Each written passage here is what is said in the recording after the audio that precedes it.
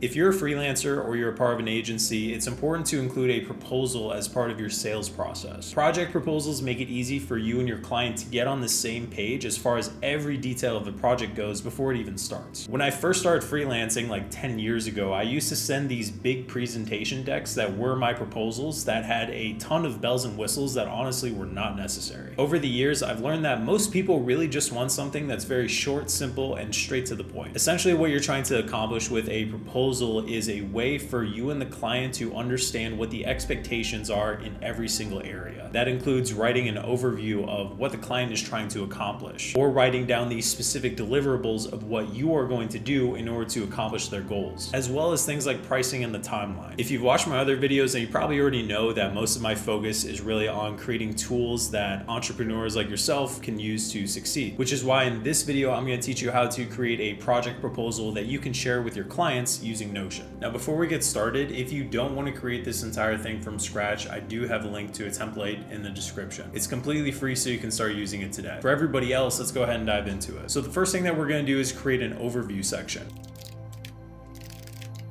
So with this section right here, it's just going to be a paragraph describing to our understanding why the client approached us, what the problems are that they identified, as well as how we are going to help them. So I'll go ahead and just put some placeholder text here for now. So it can essentially look something like this. I describe why they approached us, what the problems were, and what exactly we are going to do to help them fix them. The next section that we'll create is the goals. And keep in mind, for all these sections, all that we're doing is just creating a heading to as well as a divider. And that's it. Just keep it super simple.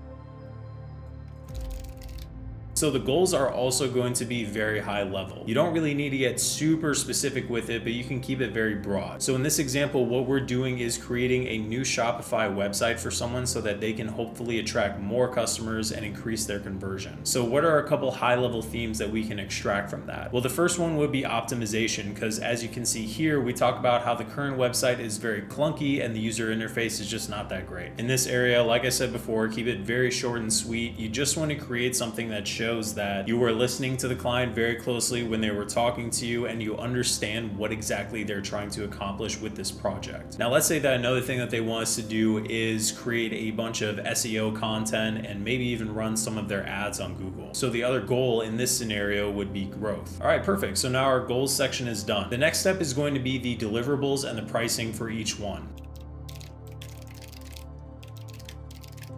So I personally like to use this table layout whenever I'm creating a proposal. It's just very simple and it's something that a lot of people are kind of used to seeing.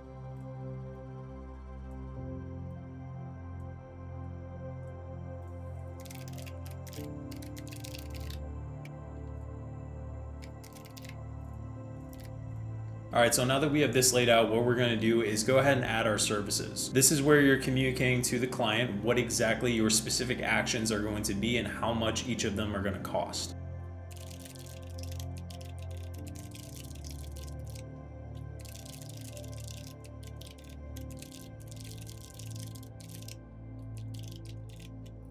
And now we're done with that section as well. So what we've done right now is a good job of describing what exactly the project is going to entail, what the goals are for the project, as well as what the deliverables are so that the expectations are very clear. Now, one thing that I would add just to help you out a little bit more, and a lot of freelancers and agencies do this, is I would add a little note right here that just says something about, hey, we are going to charge half of the project up front, and then the second half is going to come at the end and be charged when the project is actually completed. Depending on your business model, you might find this useful useful just to guarantee that you get some money up front. So the next thing that I'd like to do is create the timeline for all of these deliverables. So let's go ahead and create that section.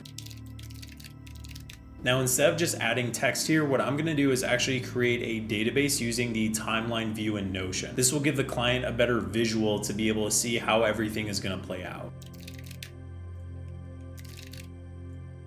So now that I have this here, I can go ahead and use these cards to specify how long each of my services are going to take. All right, so now we have a bit of a visual to accompany our proposal to make sure that the client understands how long each step is going to take. Now you don't necessarily need to store any information in these pages because you don't necessarily know if the client is actually gonna click into them, especially if they don't necessarily know how to use Notion. So this right here is perfect. If you have more services than what is outlined here in the deliverables, all that you need to do is just hover over the timeline and you can place place a new card. So now that we've done that, we're basically done. All that I would recommend doing are just a few finishing touches.